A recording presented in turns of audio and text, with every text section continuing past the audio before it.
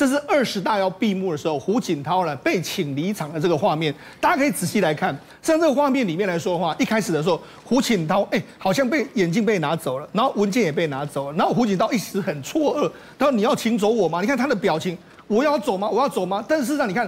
那相关的人一直跟他说：“你好像要离开的一个状况，就是一直，然后之后你仔细来看哦，似乎是硬着把他从座位上面把他往上拉的这样的感觉啊。所以这个随护跑到旁边，耳朵就跟他讲，要他要走，他没有要走的意思，他一副又要回来了。对，没错，你可以仔细来看哦，他其实并不是很想走，因为为什么？实际上，这是整个闭幕的。他第二次他又有点要回来。整个闭幕大会的这个会场里面，哎，还没开始啊，为什么我要离开呢？所以我觉得他当时的表情其实是有点错愕的这个样子。所以你看，其实。后来好不容易，好似乎是很心不甘情愿的，这个被人家架走的画面。